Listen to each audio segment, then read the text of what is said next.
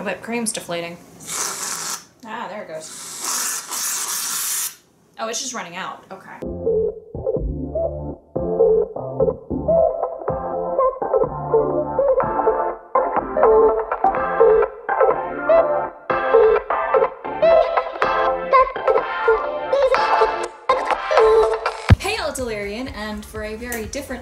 Of DIY video, this is my new series of DIY projects for the Sabbats, starting with Yule, of course, as you're seeing this uh, a few days before Yule proper, but in spite of it being a little early, happy Yule. I'm gonna be making a recipe for each of the Sabbats, and I think I'm gonna do two rounds of it, just to kind of get in the swing of things with the first section of them, and then once I have the hang of it, I'll do a secondary recipe for each one for next circle. We're starting with Yule today, and I'm gonna be making eggnog from scratch from an old recipe, I think from the 1890s. I'm basing my attempt here off of the video that B. Dylan Harris did over on his, he initially did it on TikTok, but I think the video is also on YouTube, so I will link to his video below so that if you want to follow his or see his version, you have that at your disposal. But I have quick notes of how the recipe is supposed to work here on my phone in my note app, and so I'm just going to be going through the recipe, and as I'm going through various of the steps and you're watching the process, I will also have some voiceover of the specific correspondences of the various ingredients going into the eggnog and why this sort of beverage works as a way to celebrate Yule and Christmas and all of the intentions and meanings behind the celebration.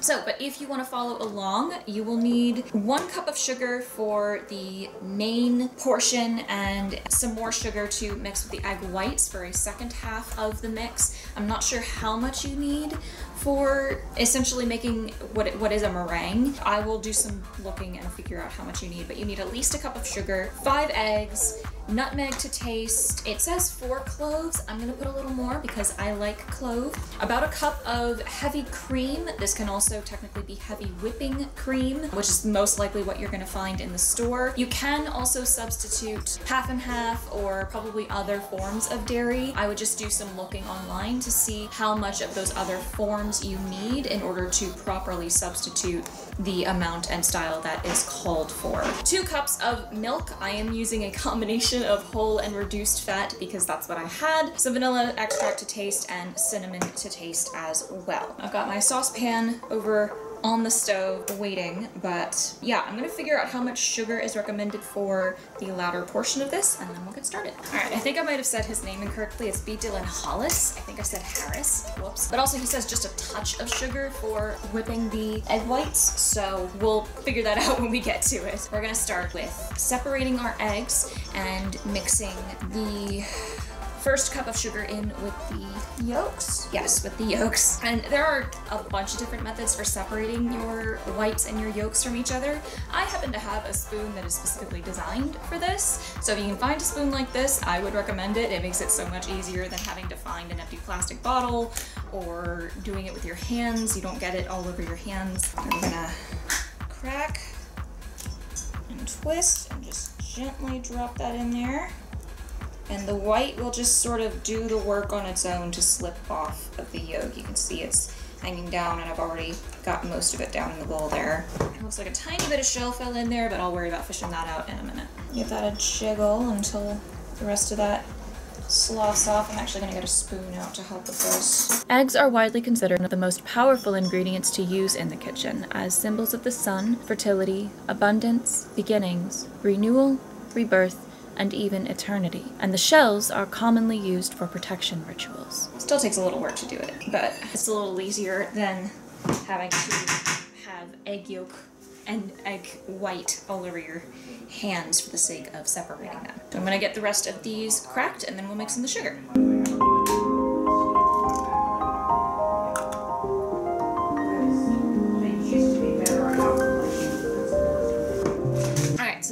Have these separated, I'm gonna add the cup of sugar to the yolks and get that whisked together. Sugar is associated with lust, attraction, and abundance, and along with other similar ingredients such as honey, is often used in workings to sweeten the deal, so to speak, and manifest better, more favorable results. It's also associated with Venus and Aphrodite.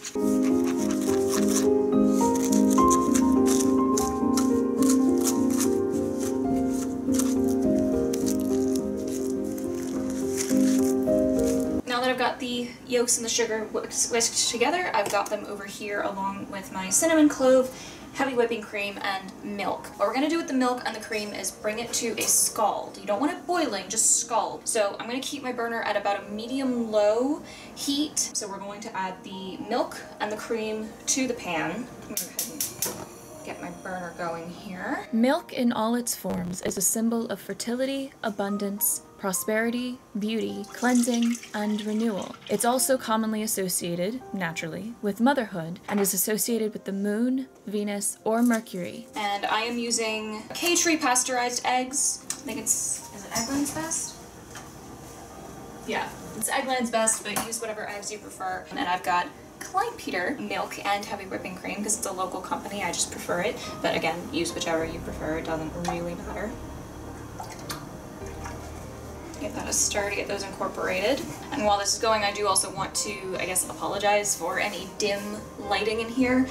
The overhead light, of course, on this side of the kitchen has gone out recently and we haven't had the chance to replace the bulbs. So hopefully this will be better lit for future recipes. But we're doing the best we can. I have, I have my ring light. I've got this light here. I'm lit well enough for you guys for now. And when you have any sort of dairy on the stove for any reason, do not leave it unattended. It's actually such a well-known culinary rule that it's become a thing in any kitchen, regardless of what you're doing, that if you don't have time to stop and talk with the other cooks, like if you're running to grab an ingredient and head back to what you're doing, just say milk on the stove, and that's the that's the universal language for people who work in kitchens of okay, I'll leave you alone then. you go do what you need to do.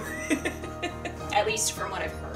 I'm gonna transfer my yolks to the bigger bowl because I'm gonna need to take about half of this and slowly add it to the yolk to temper the egg before adding the whole mixture into the pot. I should have started with the bigger bowl to begin with, but this is a common mistake for me. Beside which, this bowl is plastic, and I do not want to be pouring scalding milk into a plastic bowl. I almost forgot, and I'm glad I realized now, it hasn't quite scalded yet, but you're also supposed to add the cinnamon and the clove for this. So I'm gonna do a sprinkling of cinnamon just enough to coat the top, and I'll tip out enough cloves to fit the palm of my hand and dump those in there as well. Cinnamon is associated with success, healing, power, lust, protection, and love, as well as Venus, while clove is believed to have powers of protection, cleansing, love, and money, and is associated with Jupiter. About that much in the way of cloves. And I've got about that much cinnamon. But of course, there's no hard fast rule when it comes to this sort of thing, especially flavors in cooking and baking. So if you really like cinnamon and you want more than even I've put in here, go for it. If you don't like cinnamon or would rather use something else that's kind of similar, um, there's allspice, nutmeg, which is called for later on in the recipe. You could do just clove. It's it's totally up to you what you do spice wise here. I'm just showing you what I'm doing and telling you what the recipe calls for. Smells heavenly now that I added the spices. It's just starting to bubble, so I'm gonna give it one more stir and then I'm gonna use the ladle to carefully transfer a portion of what's in here up to half into the eggs to temper them and get that mixed in, and then we'll transfer the egg mixture back into the pot.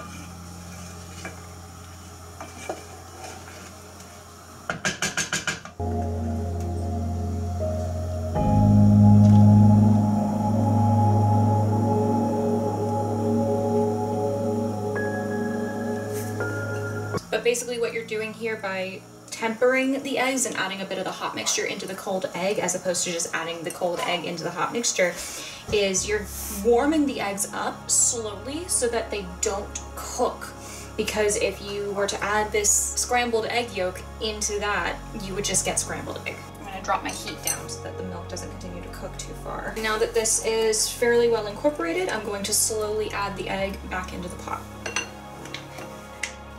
And have your other hand ready to stir as you do this.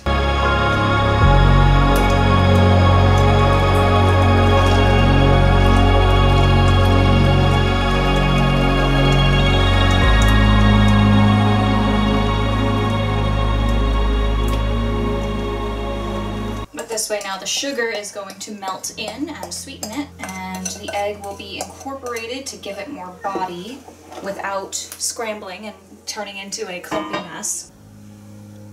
Oh, this smells so good. All right, we're gonna keep this over low heat until it's very thick. Take it off the heat, strain it, and set it aside. So I'll strain it back into this glass bowl and then we'll move on to our egg yolks. Or egg whites, excuse me. this is what it looks like after tempering the eggs and adding them into the saucepan. And I'll show you what it looks like once it is thick, which it's already getting there. It does not take long. All right, I know this isn't the best angle, but it's more important that you see what I'm doing rather than see me. I think my egg is starting to get a little bit clumpy, so I'm gonna go ahead and call it and strain it into here. The strainer will catch any clumps as well as the cloves, and then we'll set this aside and work on the egg whites.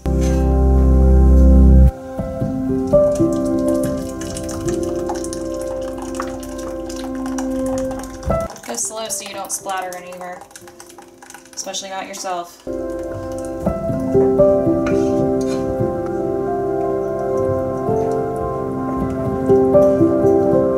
There's definitely scrambled egg in here. That's okay. It's only my first time doing it. Essentially what you're doing here is making a custard. I have transferred the yolks to a larger bowl and I'm gonna get my sugar jar open. I've got the same spoon. I'm gonna do one spoonful of the sugar just for now. Start whisking and we're supposed to whisk until it forms stiff peaks, which I'm choosing to do by hand for various reasons, but obviously if you have a stand mixer that or a an electric hand mixer, that will go a lot faster and be a lot easier. I'm just doing this by hand because I'm nuts. One of the fun things about whisking meringue is you can have fun with the rest of the family, see how many people you can get to take turns before you get where you go if you do it by hand. But this consistency here on the whisk is about what we wanted. Now I'm gonna grab the other mixture and we're gonna fold it in. We've got both of our bowls now. This one is still very, very warm, so I'm gonna, like I said, just fold very gently. I'm actually gonna grab my wooden spoon for this. When working magic into your cooking, your spoon is essentially your wand. And I prefer to use a wooden spoon when I can because I believe that an old wooden spoon has more good energy and power from all the love and recipes made with it before than a plastic spoon could ever have. And the reason for the terminology fold, you quite literally are going slow and gentle to incorporate the two because you don't want to knock all of the air out of the meringue that you just whipped. And the recipe says to finish with vanilla and nutmeg. I'm gonna go ahead and add my vanilla now. So it incorporates. Vanilla is used for love, lust, and mental power and is associated with Venus. That's probably more than enough. It is widely believed that the direction you stir makes a difference when cooking with magical intention. Clockwise is for manifesting, counterclockwise is for banishing. So now it's all folded together. My mixture is a little thicker than Dylan's was, but that's okay. It still looks lovely. So I am going to portion some of this out into a mug, top with some whipped cream and some nutmeg, and give it a taste.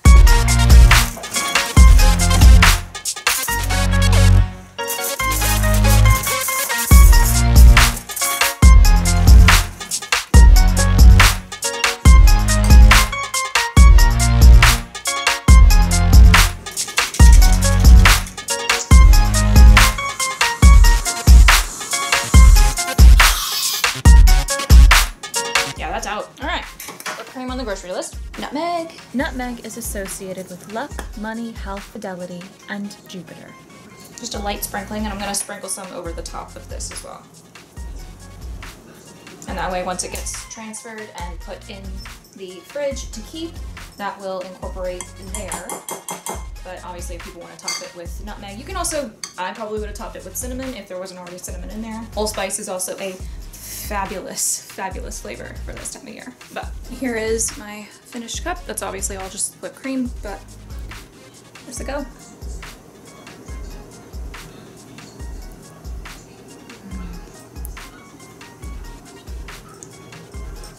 Oh, that's so good. And like, I don't normally drink eggnog, but that is so good. Mm.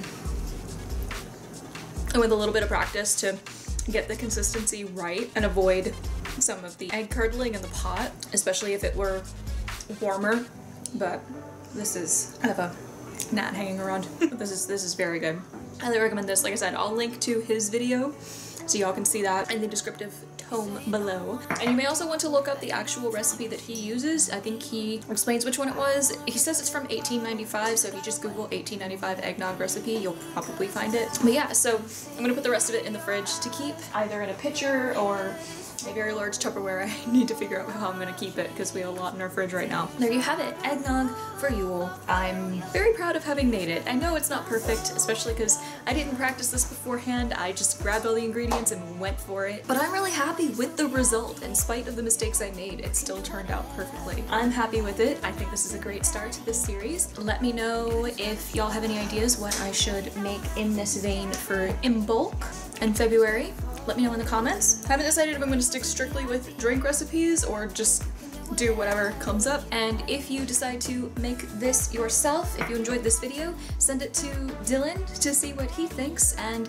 if you try making this, send me the pictures, videos, show me your results and let me know how you like it. I will also say technically because of the egg white step, you are consuming raw egg, but if you don't want to have the raw egg component, you can throw it back on the stove for a few minutes to technically cook the rest of the egg through before you serve. I'm consuming it raw because as I said earlier in the video, I buy pasteurized eggs, so I trust that I am not going to get sick from these eggs, and if I do, it was my own fault because I consumed raw egg. But you can obviously do as you feel safe doing. This is also a non-alcoholic recipe. I wanted to do it non-alcoholic for my first go, just to make sure I had the recipe right. But if you wanted it alcoholic, I would say after incorporating these, you could pick your favorite whiskey, bourbon, amaretto would probably go really, really nice, some sort of dark liquor or liqueur a dark spirit basically with a flavor that would complement what's already in there. Anything that goes well with the cinnamon, the clove, the nutmeg, and goes well in creamy drinks because some alcohols will curdle the cream. You might be able to do well with a spiced rum. People who know alcohol will have better suggestions. If you know what would go well, leave that in the comments as well. Um, I will probably try in the future with a dark rum or, or a bourbon or amaretto because amaretto tastes like almond, so that would go perfectly with all these other flavors. But yeah, thank y'all so much for watching. I really hope you enjoyed the video. If you did, you know where. Actually, you know what? It's Yule, fresh start. We're gonna say it for these couple of Yule videos and then I won't say it for the rest of next year. If you liked the video, make sure to click like and if you want to stay up to date on all of my videos as they post, make sure to click subscribe and click that notification bell to turn on all notifications. If you want to see more content like this video specifically, I have my DIY playlist linked in the cards and in the description below where you can find all of the reads that I made for the Sabbats two years ago, as well as a few small sewing projects I've done here and there. If you want more witchy content as well, I have a bunch of tarot readings and I will be doing tarot readings for Yule this year. Those will post on Yule proper on the 21st of December, which will also start up our Yule vlog series where I will be filming a video every day from the 21st of December through the 5th of November, which is birthday. And so if I can keep up with myself, you will see a video a day from the 22nd through the 6th. If you enjoy hanging out with me and coming along on my adventures and want to see what else I'm up to on other social media planes, my Linktree is also in the description below where you can find my Facebook, Twitter, Twitch, and my Patreon. Speaking of, I'd like to give a huge thankful shout out to my coven of patrons who continue to be the most pivotal in helping this content be bigger and better every time. If you would like to join their ranks, check below for the Patreon. Pledges start at $1 a month. And $5 and up patrons get extra privileges like being able to vote on things like what games I play on Twitch. Something to consider. Stay tuned, as I said, for the Yule tarot readings as well as my Yule vlog series, and I'll see y'all again very soon. Keep it, my loves. Mwah! Sláinte. Happy Yule, and um, stay tuned. You can tell these aren't scripted. The Linktree in the description for the Patreon. Bramble. Thank you.